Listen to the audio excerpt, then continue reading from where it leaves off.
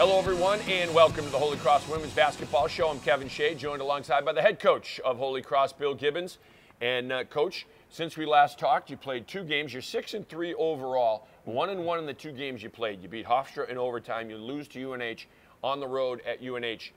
Looking at this Hofstra game, three players in double double. Three players had double Had doubles, double doubles, which right. is incredible. Right. You had 56 rebounds, 19 offensive rebounds, which I'm looking at and I'm saying this is incredible, and it's still not even a season high for rebounds, both offensive and total. It's incredible. Right. Well, I think we're a better rebounding team, obviously, Kevin. And um, w- when we rebound, we win. I, I have that up in the locker room. I mean, and, and it might be cliche, but it's it's true. And uh, the funny thing is, we put a an orange plastic uh, 1099 uh, rebounder thing over the hoop to uh, to make the every shot be a miss. And I keep saying, assume the miss. And in the games, I'm saying, make believe the orange thing is on their hoop. You know, Right. that, that you you because it's such a mentality. And uh, you know, we talk about Togo Palazzi being a great Oh, God, rebounder, and not, unbelievable. yeah, and and all he talks about is wanting the ball more. And that's Lauren's gone to 13 rebounds a game, which is unbelievable. Yes. Megan Swords is rebounding,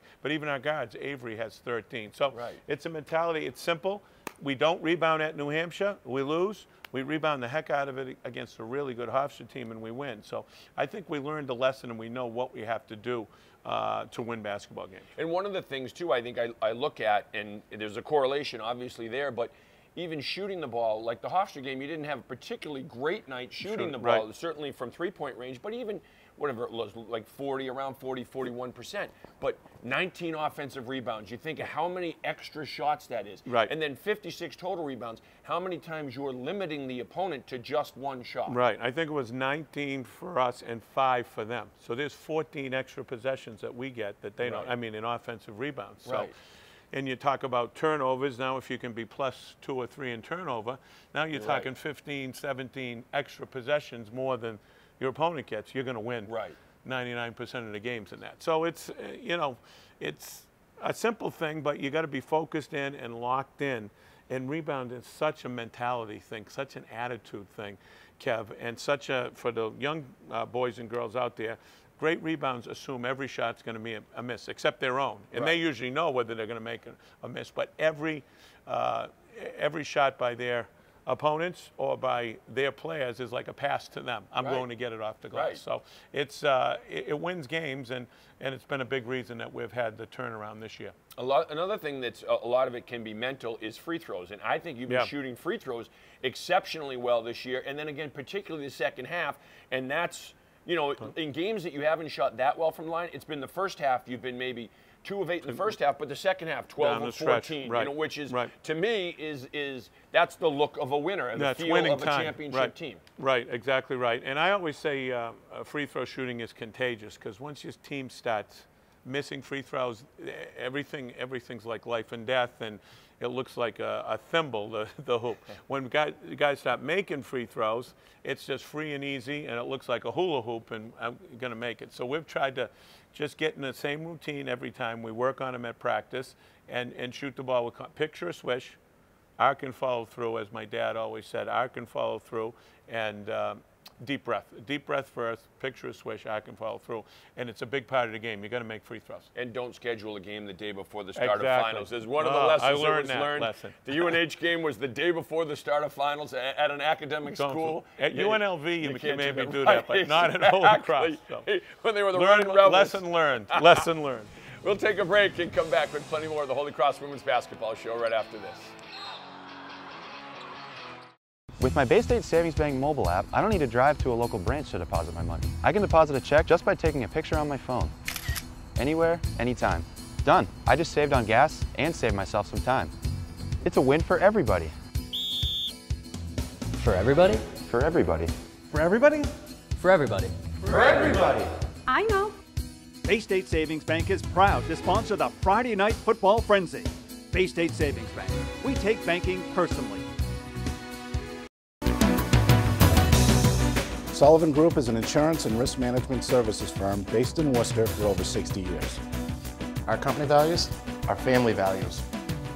Committed to our clients and finding them the best solutions. Committed to being independent. Committed to our community. We live here, we work here, we volunteer here. The Sullivan Insurance Group. Committed to excellence.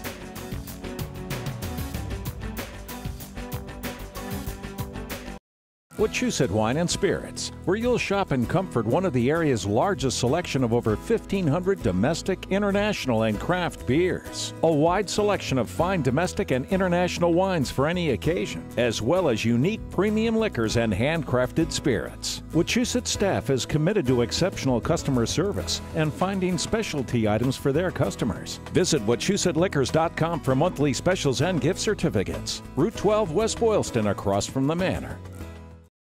Percy's is a proud sponsor of the Holy Cross Women's Basketball Show. At Percy's, we've got it all appliances, electronics, televisions, and more. Percy's, 19 Glennie Street in Worcester, right off of Gold Star Boulevard. Visit us online at Percy's.com. Providing our customers with the highest level of quality, service, and value. Poochie's Fine Jewelry, 205 West Boylston Street in West Boylston. Hi, I'm Rocco DeVerti, owner of Enchanted Fireside, Worcester, Massachusetts. Enchanted Fireside is a hearth product store. We sell gas burning, wood burning, and pellet burning stoves, fireplaces, and inserts. We help you with designs, we do the full installations, and we do service should you need it down the road. Our management, sales, and service staff are certified by the National Fireplace Institute in wood burning products, gas, and pellet burning products. Come and visit us at Enchanted Fireside, 728 West Boylston Street in Worcester. Portions of the Holy Cross Basketball Show are brought to you by Qdoba Mexican Eats.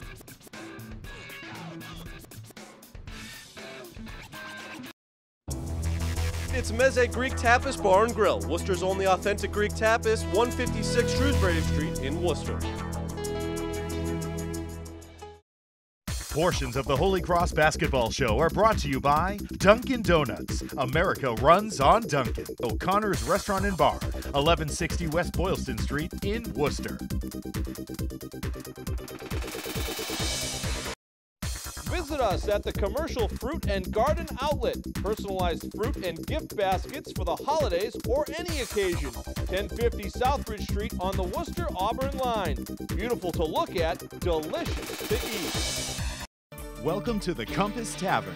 At the Compass, we offer a delicious menu featuring the best American style and New England dishes made from scratch in our kitchen. Whether it's lunch, dinner, or special celebrations, the Compass Tavern is the place to go.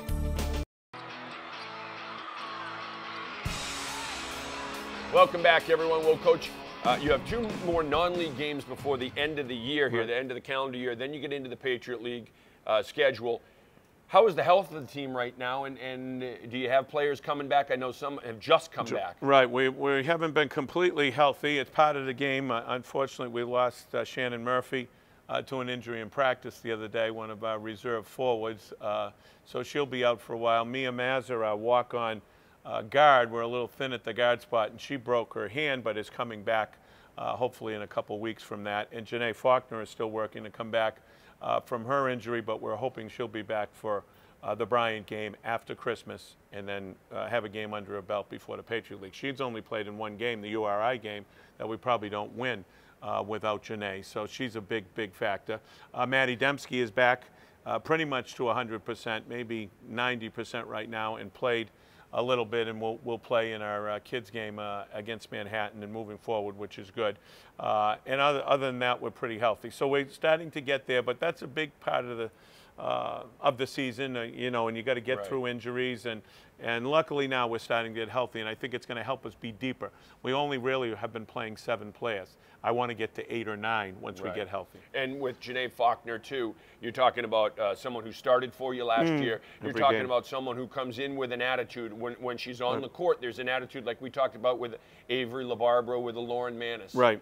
No question about it. And a defensive stopper and someone that can rebound uh, out of the guard spot. So we really missed Janae's presence, but we don't want to rush her back Patriot League is our second season that we really need her for, and she's working hard with Alicia, our athletic trainer, to get back. What does Dembski bring to the table? Because folks haven't seen her. She just Right. played a little bit in the UNH game, but Right. what does she bring to the table? What do you expect of her? She, that's one of the smartest players we've had. Very, very intelligent from a great um, program, uh, Villa Maria Academy in Erie, Pennsylvania, state champions, and was a first team all league player. So she was very heavily recruited. She's a 6'2 kid that can really shoot it. Uh, can rebound it and a great passer. So she'll just bring us a little more depth in that front court.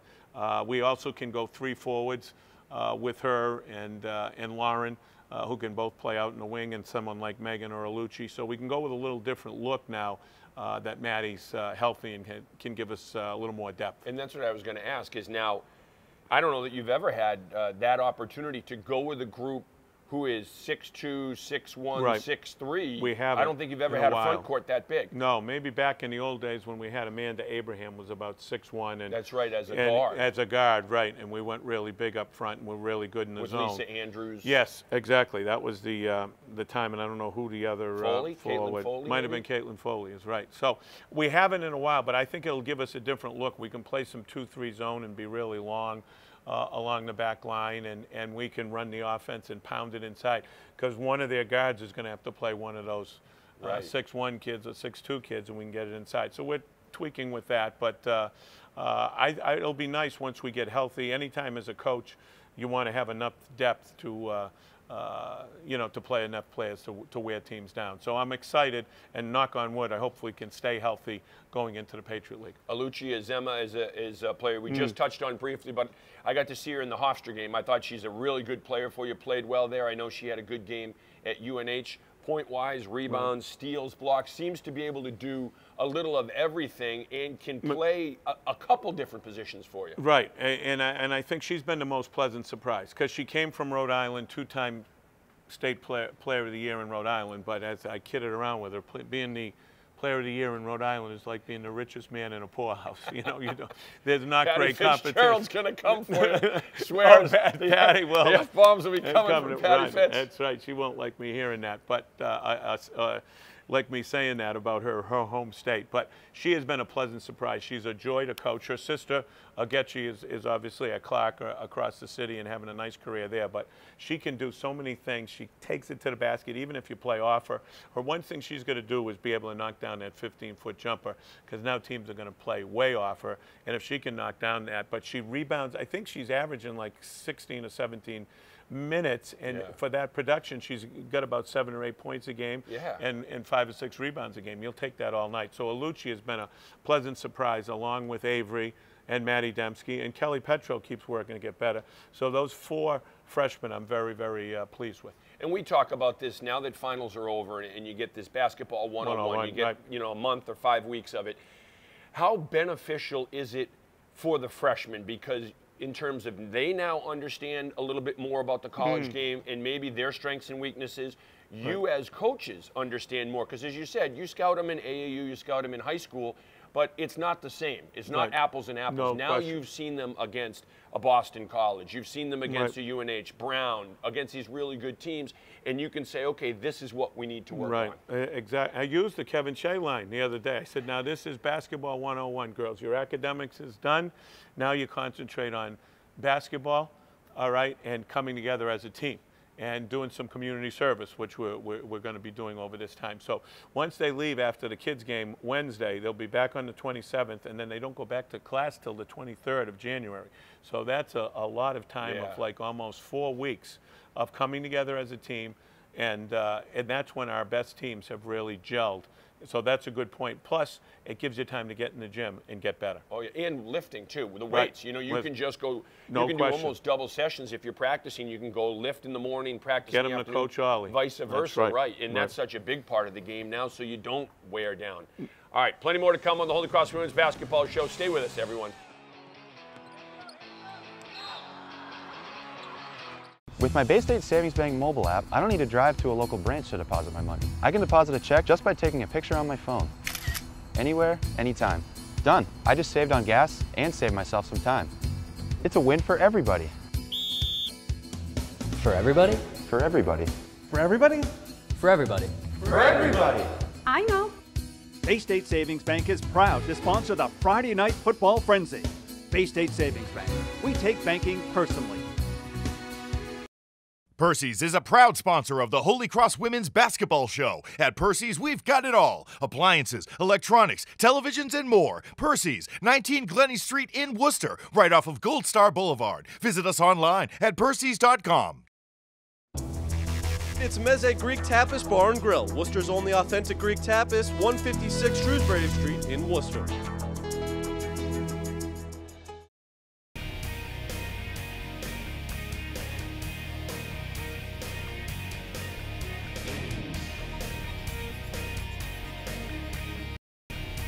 The Fix Burger Bar. Handmade burgers, elixirs, and shakes for whatever ails you.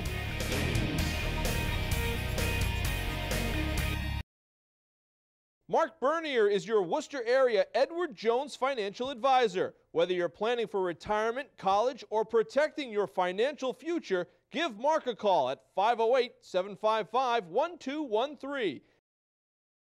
Hi, I'm Rocco DeVerde, owner of Enchanted Fireside, Worcester, Massachusetts. Enchanted Fireside is a hearth products store. We sell gas burning, wood burning, and pellet burning stoves, fireplaces, and inserts. We help you with designs, we do the full installations, and we do service should you need it down the road. Our management, sales, and service staff are certified by the National Fireplace Institute in wood burning products, gas, and pellet burning products. Come and visit us at Enchanted Fireside, 728 West Boylston Street in Worcester. Before or after the Crusaders hit the court, come on down to Bentley Pub in Auburn, Route 12 near the junction of the Mass Pike. Visit us online at bentleypub.com. After the game, come on down to Flip Flops on Main Street in Holden. Good food, good friends, good times. Flip Flops on Main Street in Holden.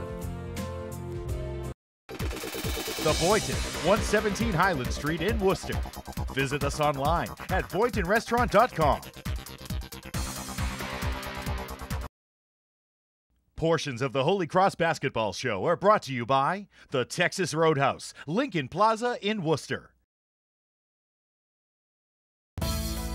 Chick fil A in Worcester proudly supports the Holy Cross women's basketball team. Come on down to our brand new location at 80 Gold Star Boulevard in Worcester.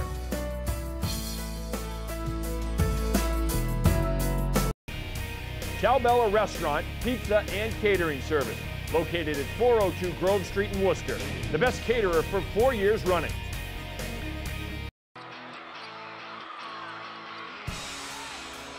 Welcome back, everyone. Joining me now is Brendan Sullivan, the interim athletic director here at Holy Cross. And uh, Brendan, when you've been here, interim is in some ways just a tag. You've been here for a few years. Um, just talk about first your experience here, because you've been here for, for a little while, and, and how it's gone getting to know the lay of the land and, and everything that's involved in your job. Sure. Um, first of all, thanks for having me, Kevin. Um, I've been at Holy Cross for four years. Uh, joined here from uh, Stonehill College, where I was fortunate to serve as the athletic director uh, for seven years. And for me, it was an opportunity to join a, a great institution like Holy Cross. Um, a lot of similarities, I think, between Holy Cross and Stonehill. Um, good academic institutions in their respective areas and in their respective athletic leagues, and an opportunity to join Holy Cross with the rich tradition, um, both as an institution and then athletically. And really, what um, was important to me was being a part of a team that worked to rebuild um, and enhance some of that tradition and legacy here at Holy Cross. Um, certainly uh, on the cusp of, at the time, four years ago, looking at a facility expansion that is now the Luth Athletic Complex at the Hart Center um, is tremendous. Um, and to be part of that and see it start from a development phase through you know, some fortunate donors, some gracious people coming forward and um, giving the commitments that allow us to do this not only for our current student athletes, but for you know, the generations of Crusaders that will come thereafter. Um, just professionally and personally, really, really important for me um, and wanting to be a part of that. And then as um, you've said before, you know, being at an institution where academics are so important. Um, want our student athletes to have the best opportunity they can during their four years here, and that's what we talk and, and really preach about is they have four years with us, and we have to make sure that that time is as valuable as it can be. But at the same point, for a majority of them, they're going to graduate into their professions, whatever that may be, um, and making sure that they are best prepared for that. Um, it's impactful and you can you can play a role in their development. And when you listen to many of our alums that come back and talk about the role athletics played in their overall education and how they learned to work within a team, how they learned adversity and how they learned to overcome challenges, and how that's applicable for whatever profession they choose. Um, to do that at a place that values academics and, and, athletics as a part of that role has been uh, pretty professionally rewarding. And uh, we talked about this just off camera, but in terms of the role of the athletic director and how much it's changed, just even in the last five years, in the last 10 years, uh, so much of it now is fundraising for, you know, huge projects like this. You know, probably well over 100 million by the time it was done, but how this is needed with the, the new facility here and the indoor turf and the and the weight room, just competitively to mm-hmm. keep up with with everyone in your league, all the non-league teams uh, that you play now, and recruiting not only just athletes but those kids that are coming up here just for the student experience. Mm-hmm you know, they see something like this and they're able to, to skate, you know, the open skate, use the turf field for intramurals. I mean, this is something that benefits everyone, the practice courts. You know, there, there's, it's not just for the athletes up here. Mm-hmm. Um, I think it's certainly a positive sign for an institution when you are building um, and, and you are in a mode of expansion. So um, here uh, with the Luth Athletic Complex for, for us, there's two other major building projects um, going forth for the college here in the next few months with the Recreation Center and the Performing Arts Center. That's a sign of vibrancy on a campus, and not every campus is in a position, and, and because of the institution that Holy Cross is, um, the great alumni support we receive and the great leadership we have, we're able to enter that phase moving forward. Um, to your point about the athletic director role, it, it has changed, and there is you know, an emphasis on resources. And in an economic time where um, higher education resources are changing, um, we have to be able to self-generate um, many of our revenues and increase and enhance what we're providing for our student athletes. Um, one, to ensure our competitiveness, but two, to also make sure that we're able or we're not becoming a burden on the institution. Again, at an institution like Holy Cross, where we represent a quarter of the student population, we bring much to this campus and much to the student and, the um, academic institution. But at the same point, we have to make sure that um, our goals, our objectives are held within you know, the confines of our resources and budgets. And when we need to go out and do more or, or garner something for our student athletes, whatever that tool is, whatever that magic um, piece of equipment might be, that we're working and, and, sharing that story with the folks that have the capability to give. And, and they also are part of our success. So we can point back and say, you know, the Crusader Athletic Fund through the guidance of um, Nate has grown almost a million and a half dollars in his five years here. That's really impactful to our bottom line operating budget um, to grow those resources and provide our teams with experiences for trips or games or opportunities, um, to provide our coaches with the tools to go out and recruit further and to bring our students and bring prospective students.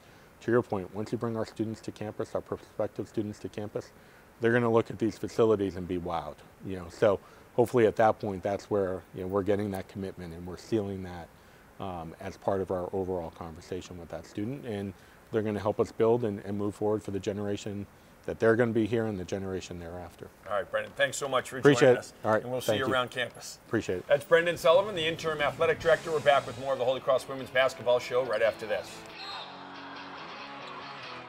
With my Bay State Savings Bank mobile app, I don't need to drive to a local branch to deposit my money. I can deposit a check just by taking a picture on my phone.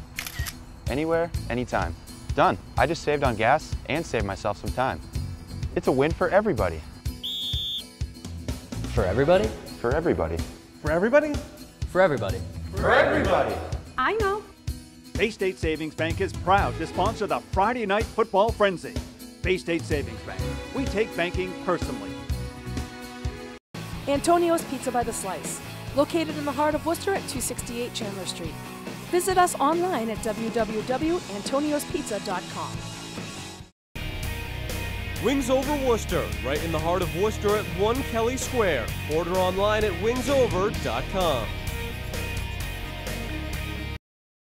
The Hilton Garden Inn in Worcester is a proud sponsor of Holy Cross Women's Basketball, conveniently located on Major Taylor Boulevard in Worcester.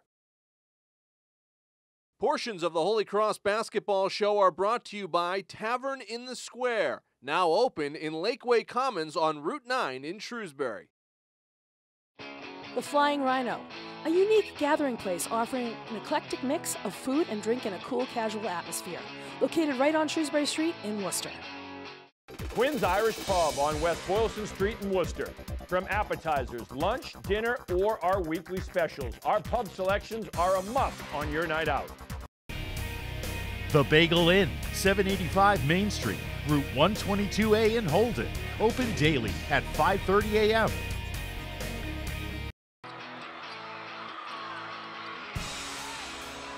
Welcome back, everyone. Well, Coach, uh, as we mentioned, two more games in this calendar year, Right. non-league games, and then you get into the league schedule. And as we said, that's the second season and the ticket to the NCAA tournament. From what you've seen, score-wise, looking at video, how does the league look this year, and which teams look really strong? Yeah, that's uh, it, it's pretty much shaken out the way I I, I thought. Uh, Bucknell is has played a tough schedule and is playing very well. American has played a real tough schedule. They played Stanford, went to a tournament in Hawaii, and uh, are playing well. They were picked one two. Lehigh has a good record, about, about the same as us. The only surprise is Loyola, who I actually thought would be first or second in the preseason poll. They ended up third. Have everyone back, but they got a player back that was first team all league, Bree Betts White, and they're just not gelling right now. But they'll be dangerous, uh, and we have them early uh, at the Hart Center. I think a game on Channel 3, so that'll be a tough test. Colgate's playing much better from the bottom of the league. Uh, Marisa Moseley, the UConn assistant coach, is now the head coach there, and they're improved. So I think top to bottom, from one through 10, the league is going to be the best it's been in the last three or four years anyway. But I would say Bucknell, American, uh, Lehigh are the teams, uh, you know, to, to beat right now. Now, uh, you and I have talked about the, the kids game, but uh, you know that it's in the 10th year, 11th year. Phil Giarusso, you, Jeff Oliver, Started got together right. and started this thing years ago. Uh, you know, when you started it, you, generally speaking, when people start things, they never know how big they're going to be or Right. how long they're going to last. Right, right. What was the feeling going into this, starting it, and looking back on it now after a decade plus?